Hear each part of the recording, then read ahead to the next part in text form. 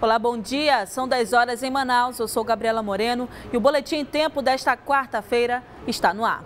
Olha, um carro desgovernado invadiu uma casa de madeira na zona oeste de Manaus e matou uma jovem de apenas 19 anos. Ela assistia TV com a família quando o acidente aconteceu. Noite de terça-feira, seis e meia da noite.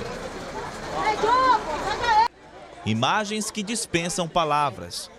A rua Ambrósio Aires, no São Jorge, zona oeste de Manaus, repleta de ambulâncias e viaturas dos bombeiros e da polícia. De longe se via que uma tragédia havia acontecido. Um veículo desgovernado invadiu uma casa de madeira no bairro e deixou o saldo de uma morte. O carro descia a rua Vitória Régia quando o motorista perdeu o controle. Como a ladeira é muito íngreme, ele ganhou velocidade e atingiu aquela casa de madeira que fica do outro lado da pista. No momento, uma jovem de 19 anos estava sentada na varanda de casa. Ela foi atingida pelo carro em alta velocidade. A vítima foi identificada como Giovana Guimarães Lopes Cristina, de apenas 19 anos. Ela teve o tórax esmagado com o impacto e morreu assim que deu entrada no hospital 28 de agosto, na zona centro-sul da capital. Emocionados, amigos e familiares não quiseram gravar a entrevista. Enquanto isso, no endereço da tragédia, o trabalho dos bombeiros continuava. O mesmo acidente deixou José Ozanan de Souza, de 32 anos, com uma estaca atravessada ao corpo. Ele era um dos passageiros foi preciso quase uma hora para removê-lo do carro, ainda com o um pedaço de madeira ao corpo. Foi um momento dramático. Todos não conseguiam acreditar no que viam. O bombeiro começou a retirada da, da, da vítima, uma vítima grave, que estava presa dentro do veículo com a estaca transfixada ao corpo, na altura do tórax. Né? Aí acionamos as equipes do SAMU, uma unidade de suporte avançado, um médico, justamente para dar aquele suporte de vida que a vítima precisa.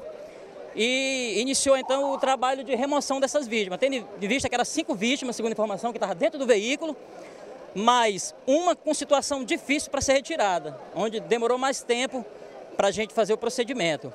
Hilda de Deus Regis, de 69 anos, também estava dentro do carro. Ela sofreu ferimentos na cabeça e costela. Assim como as outras vítimas, ela também deu entrada no mesmo hospital.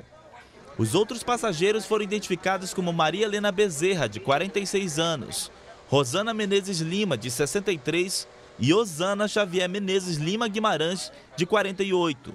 Todos apenas com ferimentos leves. As equipes de resgate não souberam precisar quem estava dirigindo o carro na hora do acidente. Limitou-se a dizer que era uma das mulheres. A perícia criminal esteve no local para apurar as causas do acidente. O caso foi registrado no 19º Distrito Integrado de Polícia. O quarto suspeito de matar o sargento reformado da Polícia Militar, Luiz Carlos da Silva, há uma semana, se entregou ontem na Delegacia de Homicídios. Marclay Moraes de Souza estava foragido desde sábado. Uma prisão que tira o peso da impunidade das costas de uma corporação. Não é só questão de justiça, as pessoas estão colocando só justiça porque foi um sargento que, da polícia que foi assassinado. Não foi, pô. Todo dia tem pai de família sendo assassinado aí, pô, e eles continuam sendo soltos. A única questão é que o caso do sargento ficou em evidência. Pô. O criminoso se entregou três dias depois de ter a prisão preventiva decretada.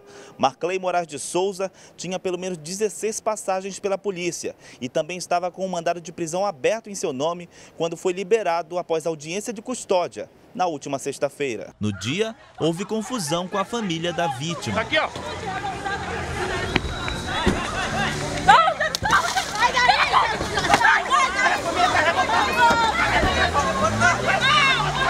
Mas no sábado a justiça voltou atrás e decidiu pela preventiva do criminoso. O suspeito era o último que faltava se entregar. Na delegacia, o homem se diz arrependido do que fez. Não, não, não, não, tinha contato com ninguém não. Depois que eu vim entrar e agora eu tô arrependido, por isso que eu vim me entregar. Tô arrependido, bastante arrependido. Na segunda-feira, o comparsa dele, Charles Sanches Moraes, também se apresentou na sede da Delegacia de Homicídios, acompanhado de um advogado.